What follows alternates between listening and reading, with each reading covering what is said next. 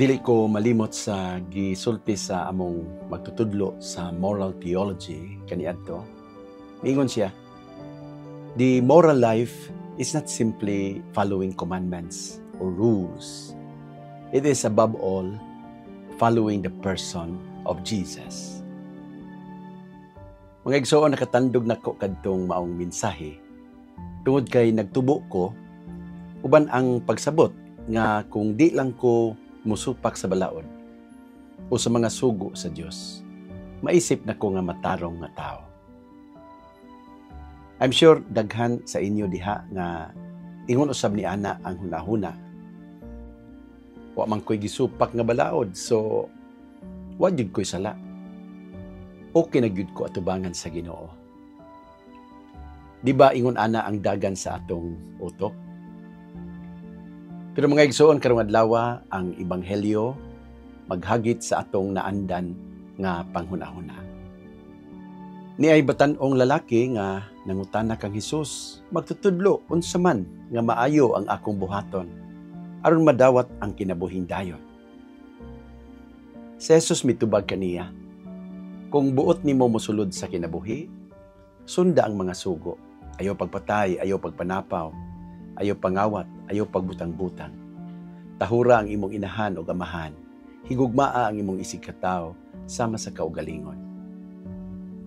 Dinhi mga igsoon gipaklaro ni Jesus sa maong batanon nga ang kinabuhing dayon dili usa ka butang nga igo ra nimong dawaton. Duna sabdi ay kay angay nga buhaton.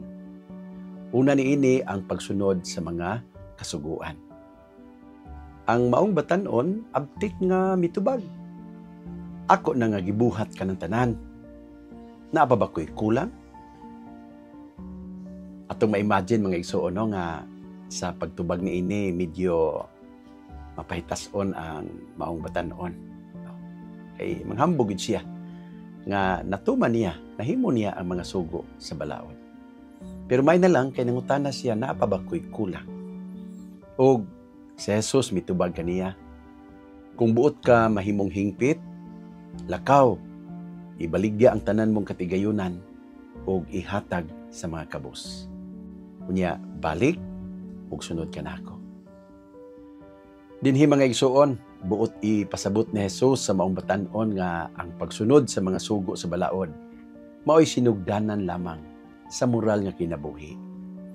Kung buot yug ka mahimong hingpit Biyai ang tanan mong gihuptan ug ihatag sa mga kabos. Sunod ka nako. Sunod ka nako, follow me. This is the heart of the moral life, ang pagsunod kang Kristo. Ang pagpuyo o kinabuhi nga para sa uban. Ang pagpuyo o kinabuhi nga para sa Dios. Ang Kristohanong kinabuhi maghunahuna lamang sa pagpasidungog sa Dios ug sa pagtabang sa uban. Ingon ni ana ang kinabuhi nga kompleto. Posible ba mga igsuon nga sa pagsunod nato sa mga letra sa balaod, wala ta mahimong Diyos nun? Posible ba nga sa pagsunod nato sa mga kasuguan, ang atong mga kasing-kasing nagpabiling hakog ug laog? Posible ba nga sa pagsunod sa balaod nagpabilin gihapon ta nga ulipon sa mga kalibutan ng bahandi? Posible kaayo. Actually, mga igsoon mao kini ang nahitabo sa daghang mga pariseyo. Sa ilang pagsunod sa balaod, wala mahimong maayo ang ilang kasing-kasing. Unya, mauusab kini ang nahitabo sa batanong dato sa ebanghelyo nining adlaw. Kini nga ebanghelyo maghagit nato sa pagpamalandong sa kahulugan sa atong kaugalingong pagsunod ni Kristo. Sa pagsunod nato sa mga kasuguan sa Dios, unsa may nahitabo nato? Nahimo ba ta nga sama ni Kristo? Ang atong hunahuna o kasing-kasing nahisama ba kang Hesus? Kung nahisama kita sa Ginoo, angay lamang nga dili na usab kita magpaulipon sa mga butang kalibutanon. Ang mga kabtangan atong gamiton sa pagtabang sa mga kabus ug nanginahanglan. Usik ang atong bahanti kung ang mga kabus wala nato tabangi.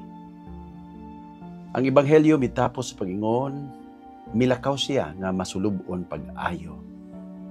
He went away very sad. Ang batanon nga mipili sa iyang bahandi, labaw sa kinabuhing dayon uban sa Ginoo, nahimong masulubon. Hinaot mga igsuon nga dili kita mahisama sa ingon. Nindot ang gisulti sa usa ka magsusulat. If you have everything except Christ, you are nothing. But if you have nothing except Christ, you have everything. Kung naani mo ang tanan, gawas kang Kristo, tabla ra nga wa ka mo. Pero kung wa ka mo, pero naani mo si Kristo, tabla ra nga naana nimo ang tanan. So, mga igsoon, we always remember this. The moral life is not simply following rules. It is above all following the person of Jesus.